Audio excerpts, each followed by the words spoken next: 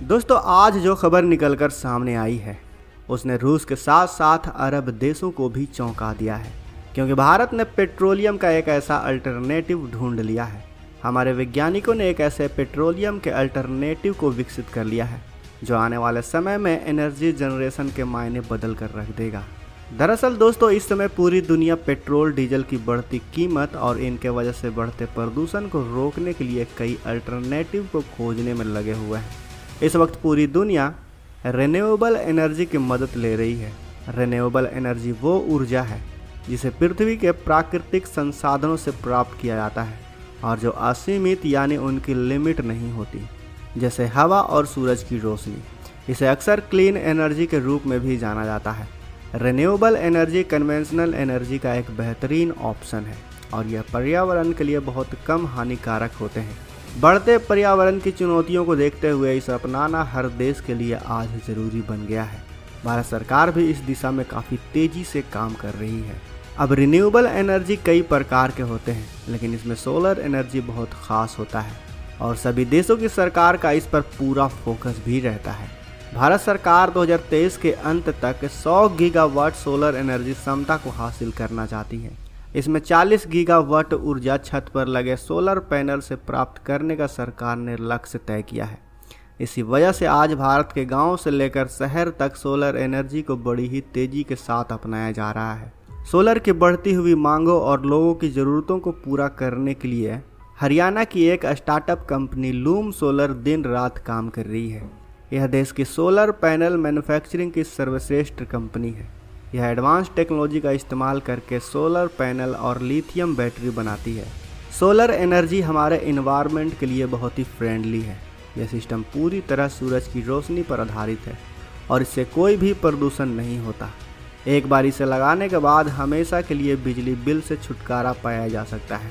लेकिन बड़ी बड़ी कंपनियाँ जो सोलर पैनल की मदद से बिजली बनाती हैं, उन्हें काफ़ी दिक्कतों का सामना करना पड़ रहा है। बार बार सोलर पैनल इंस्टॉल होने के बाद इनका रख रखाव उन्हें साफ़ करने के लिए कई लीटर पानी की ज़रूरत पड़ रही है।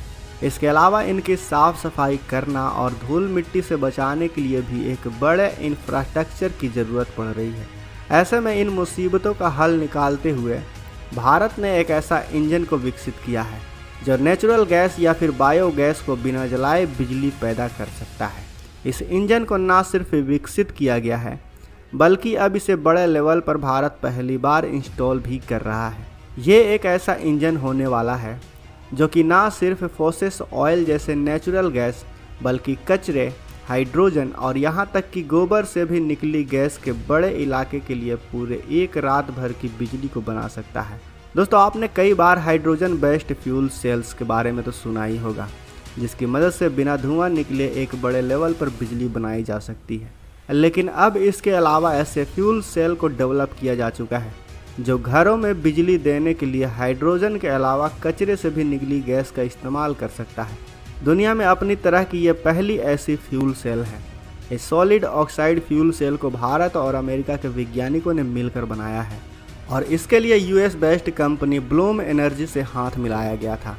Gas Authority of India Limited और इंडियन ऑयल कॉरपोरेशन के साथ इस नए तरीके में इलेक्ट्रोकेमिकल के इस्तेमाल से करीबन डेढ़ मेगावाट बिजली एक दिन में पैदा की जा सकती है। दोस्तों, ये नई क्रांतिकारी टेक्नोलॉजी सोलर विंड और हाइड्रोजन फ्यूल सेल से भी सस्ती है और भारत के लिए शक्तिशाली भी बन सकती है। सोलर पैनल को बड़ी मात्रा में पानी की ज़रूरत होती है। वहीं हाइड्रोजन को उत्पन्न करना काफ़ी ज़्यादा महँगा साबित होता है। पर यह न्यू फ्यूल सेल बायोगैस पर भी चल सकती है। इसीलिए एनर्जी जनरेट करने का इससे सस्ता और बेहतर विकल्प पूरी दुनिया के सामने आज से पहले कभी नहीं आया है। एक रिपोर्ट के मुताबिक भारत में हर साल साढ़े तीन सौ million ton agriculture waste generate होता है, जिसकी मदद से हम चाहें तो करीबन अठारह हज़ार मेगावाट बिजली हर साल जनरेट कर सकते हैं। सबसे पहले इस फ्यूल सेल को बेंगलुरु में बनने जा रही एक नई सोसाइटी में इंस्टॉल किया जाएगा। और रिपोर्ट के मुताबिक इस सोसाइटी को मेन ग्रेड के अलावा इस फ्यूल सेल से एनर्जी सप्लाई होगी। अच्छी बात यह है कि इन फ्यूल सेल के लिए गैल यानी Gas Authority of India Limited natural gas और बायोगैस सप्लाई करने वाली है।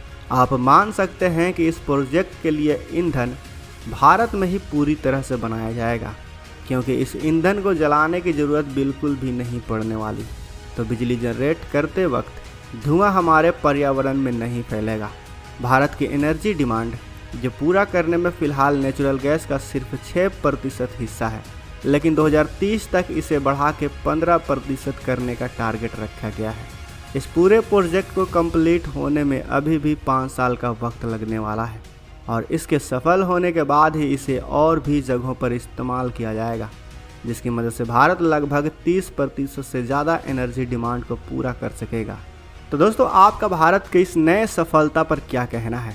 कि आज भारत की बढ़ती तरक्की, बढ़ती टेक्नोलॉजी और बढ़ते रुतबे को देखकर गर्व होता है? अगर गर्व होता है तो कमेंट बॉक्स में जय हिंद ज़रूर लिखें। मिलते हैं अगले वीडियो में।